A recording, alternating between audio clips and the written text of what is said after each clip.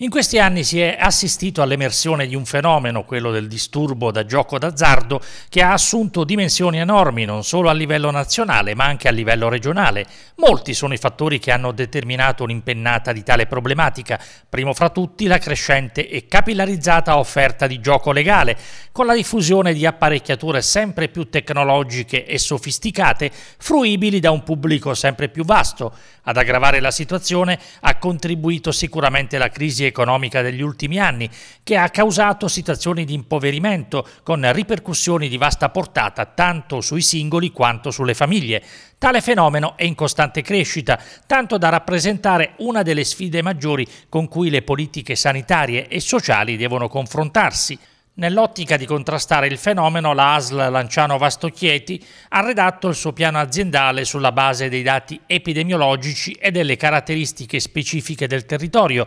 individuando obiettivi e relative attività finalizzate a contenere la diffusione del contagio che hanno rapidamente trasformato gli stili di vita. Come nasce l'esigenza di creare una campagna di sensibilizzazione sociale?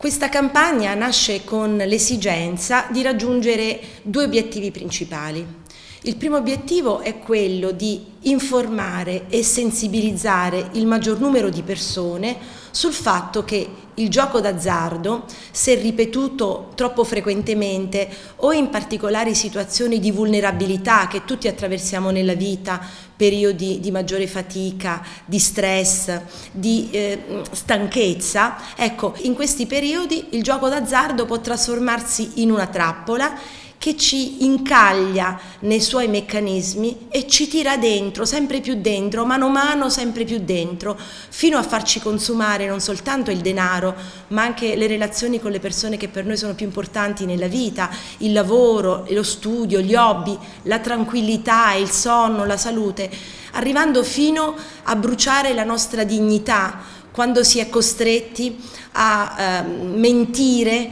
per nascondere il nostro vero comportamento di gioco che riteniamo eccessivamente esagerato, oppure quando dobbiamo chiedere denaro in prestito che non saremo mai in grado di restituire, o quando a volte addirittura ci appropriamo indebitamente di denaro non nostro. Ecco, il primo scopo è quello di informare sui rischi del gioco d'azzardo. Il secondo obiettivo è quello di far conoscere a tutte le persone che nel proprio territorio, vicino a casa loro, quindi a portata di mano o di telefono, ci sono dei professionisti esperti del settore dei servizi che sono pronti a dare il proprio aiuto per capire il problema, per eh, dettagliarlo per entrare in merito ad esso e capire come risolverlo e questo in maniera molto semplice, senza prenotazione, senza alcun costo a carico del cittadino, in presenza se questo è possibile o anche a distanza se la persona non può essere presente o non lo desidera, è sempre nel pieno rispetto della persona, della riservatezza e della privacy.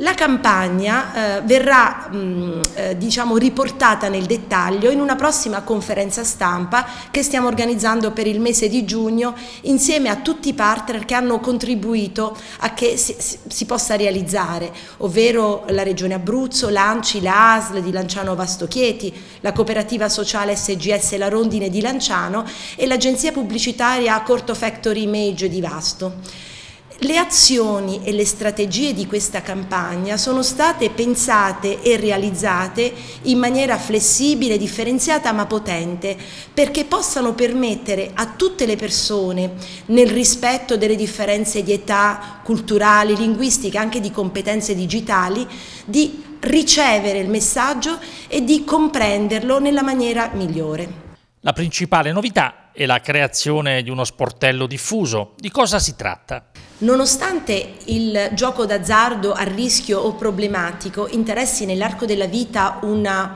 ampia fascia della popolazione e l'Abruzzo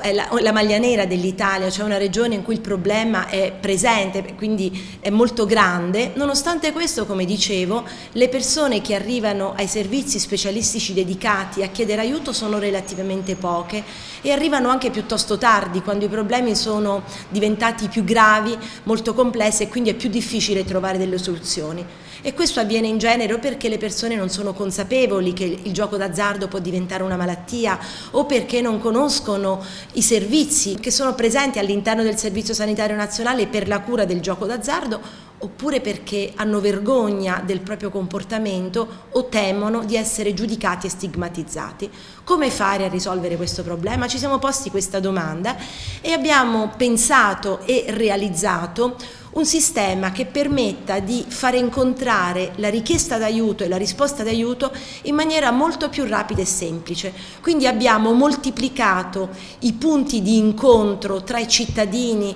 e gli specialisti esperti dei servizi, creando degli spazi di accoglienza, di ascolto, di consulenza diffusi su tutto il territorio. Abbiamo cioè creato una rete dei sportelli diffusi. Diffusi dove? Nei luoghi dove le persone vivono, che frequentano abitualmente, quindi negli uffici del comune, nell'ambulatorio del medico di medicina generale, nelle farmacie, nelle sedi delle associazioni sportive, ricreative, culturali, religiose, nelle sedi delle associazioni dei consumatori in parrocchia e quindi in questo modo cosa abbiamo voluto fare? Rendere il servizio così facilmente accessibile e così vicino al cittadino da permettere a noi di dare le risposte il più precocemente possibile e di affrontare il problema quando le soluzioni sono più facilmente implementabili.